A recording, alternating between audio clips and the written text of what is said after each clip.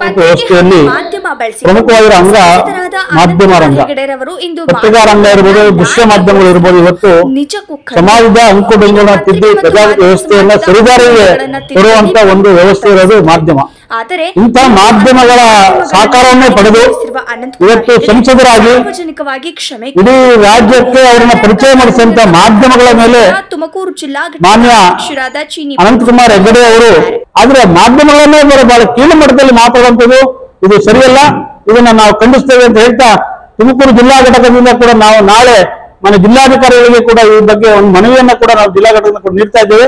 ಯಾರೇ ಇರಲಿ, ಇದನ್ನ ಮಾಧ್ಯಮಗಳಿಗೆ ಒಂದು ಗೌರವ ಕೊಡೋದನ್ನ ಅವ್ರು ಕಲ್ತ್ಕೋಬೇಕಾಗ್ತದೆ. ಮನೆಯಲ್ಲೂ ಕೂಡ ಆ ಒಂದು ಅವ್ರ ನಿಯಮವನ್ನ ಏನು ಅವರ ನಡೆ ಇದೆ, ಆ ನಡೆಯಲ್ಲಿ ಬದಲಾವಣೆ ಮಾಡಿಕೊಂಡು ಮಾಧ್ಯಮಗಳನ್ನು ಕೂಡ ಗೌರವಿಸುವಂತ ಕೆಲಸ ಮಾಡಬೇಕು ಅಂತ ಹೇಳಿ ಈ ಮೂಲಕ ಒತ್ತಾಯಿಸ್ತಾ ಮತ್ತೊಮ್ಮೆ ಅನಂತಕುಮಾರ್ ಅವರ ಹೆಗಡೆಯನ್ನ ನಾವು ತೀವ್ರವಾಗಿ ಖಂಡಿಸ್ತೇವೆ. ಪ್ರಜಾಪ್ರಭುತ್ವ ವ್ಯವಸ್ಥೆಯಲ್ಲಿ ಪತ್ರಿಕೆ ಹಾಗೂ ಮಾಧ್ಯಮ ಮುಂಚೂಣಿಯಲ್ಲಿ ಇದ್ದು, ಇಂದು ಅಂತಹ ಮಾಧ್ಯಮ ರಂಗವನ್ನು ನಾಯಿಗೆ ಹೋಲಿಕೆ ಮಾಡಿರುವ ಸಂಸದ ಅನಂತ್ ಕುಮಾರ್ ಹೆಗಡೆರವರ ಹೇಳಿಕೆಯನ್ನ ಕರ್ನಾಟಕ ಕಾರ್ಯನಿರತ ಪತ್ರಕರ್ತರ ಸಂಘ ತುಮಕೂರು ಜಿಲ್ಲಾ ಘಟಕ ತೀವ್ರವಾಗಿ ಖಂಡಿಸಿದೆ ಎಂದರು. ಇನ್ನು ಸಂಸದ ಅನಂತ್ ಕುಮಾರ್ ಹೆಗಡೆರವರು ರಾಜಕೀಯವಾಗಿ ಅವರು ಯಾವುದೇ ಹೇಳಿಕೆಗಳನ್ನ ನೀಡಲಿ. ಅದನ್ನು ಹೊರತುಪಡಿಸಿ ಮಾಧ್ಯಮಗಳನ್ನು ಈ ರೀತಿ ಅವಮಾನ ಮಾಡುವುದು ಯಾವುದೇ ಪತ್ರಕರ್ತ ಅಥವಾ ಮಾಧ್ಯಮ ಮಿತ್ರರು ಸಹಿಸಲು ಸಾಧ್ಯವಿಲ್ಲ ಎಂದಿದ್ದಾರೆ. ವ್ಯವಸ್ಥೆಯಲ್ಲಿ ಪ್ರಮುಖವಾಗಿರೋ ಅಂಗ ಮಾಧ್ಯಮ ರಂಗ.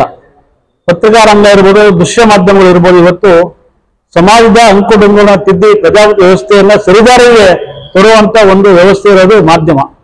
ಇಂಥ ಮಾಧ್ಯಮಗಳ ಸಾಕಾರವನ್ನೇ ಪಡೆದು ಇವತ್ತು ಸಂಸದರಾಗಿ ಇಡೀ ರಾಜ್ಯಕ್ಕೆ ಅವರನ್ನ ಪರಿಚಯ ಮಾಡಿಸಿದಂತ ಮಾಧ್ಯಮಗಳ ಮೇಲೆ ಮಾನ್ಯ ಅನಂತಕುಮಾರ್ ಹೆಗಡೆ ಅವರು ತಮ್ಮ ನಾಲಿಗೆಯನ್ನು ಅರಿಬಿಟ್ಟು ಮಾಧ್ಯಮಗಳನ್ನೇ ನಾಯಿಗಳಿಗೆ ಹೋಲಿಸಿ ಮಾತಾಡಿರುವುದನ್ನ ಕರ್ನಾಟಕ ಕಾರ್ಯರತ ಪತ್ರಕರ್ತರ ಸಂಘ, ತುಮಕೂರು ಜಿಲ್ಲಾ ಘಟಕ ತೀವ್ರವಾಗಿ ಖಂಡಿಸುತ್ತೆ. ಇನ್ನು ಅವರು ನೀಡಿರುವ ಹೇಳಿಕೆಗಳನ್ನು ಆಧರಿಸಿ ಪತ್ರಿಕೆ ಹಾಗೂ ಮಾಧ್ಯಮಗಳು ಸುದ್ದಿಯನ್ನ ಸಾರ್ವಜನಿಕರಿಗೆ ತಲುಪಿಸುವ ಕೆಲಸವನ್ನ ಮಾಡುತ್ತದೆ.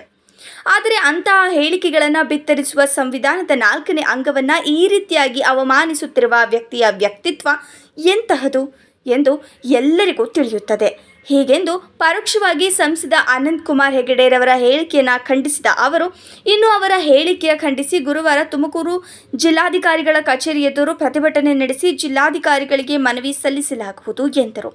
ಇನ್ನು ಇದೇ ಸಂದರ್ಭದಲ್ಲಿ ಕರ್ನಾಟಕ ಕಾರ್ಯನಿರತ ಪತ್ರಕರ್ತರ ಸಂಘದ ಪ್ರಧಾನ ಕಾರ್ಯದರ್ಶಿ ಟಿ ಇ ರಘುರಾಮ್ ಕಾರ್ಯದರ್ಶಿ ಸತೀಶ್ ಹಾರೋಗೆರೆ, ನಿರ್ದೇಶಕರಾದ ಎಚ್ ಎಸ್ ಪರಮೇಶ್, ಸುರೇಶ್ ಕಾಗೆರೆ, ನಾಗರಾಜು ಹಾಜರಿದ್ದರು.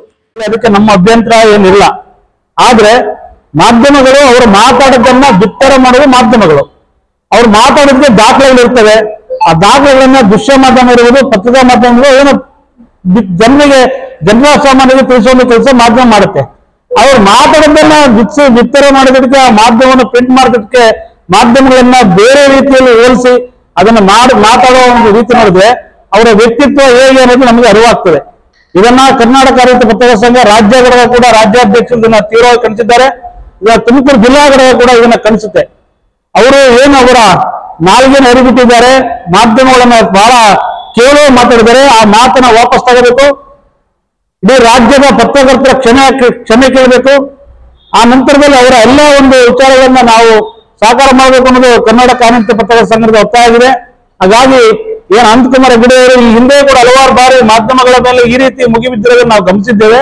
ಹಂಗಾಗಿ ಕರ್ನಾಟಕ ಕಾನೂನು ಪತ್ರಕರ್ತರ ಸಂಘ ತುಮಕೂರು ಜಿಲ್ಲಾದವರು ಕೂಡ ಅದನ್ನ ಸಹಿಸೋದಿಲ್ಲ. ಯಾಕಂದ್ರೆ ಯಾವೇ ರಾಜಕಾರಣಿ ಇರ್ಬೋದು, ಸಮಾಜದಲ್ಲಿ ಯಾರೇ ಇರ್ಬೋದು, ತಪ್ಪು ಮಾಡಲು ಅದನ್ನ ಕೇಳಲಿಕ್ಕೆ ಅವ್ರಿಗೆ ಅರ್ಹತೆ ಇರುತ್ತೆ, ಅವ್ರ ವಿರುದ್ಧ ಕಾನೂನು ಇದೆ. ಕೋರ್ಟ್ ಇದೆ ಅದು ಹೋಗ್ಬೋದು ಅದಕ್ಕೆ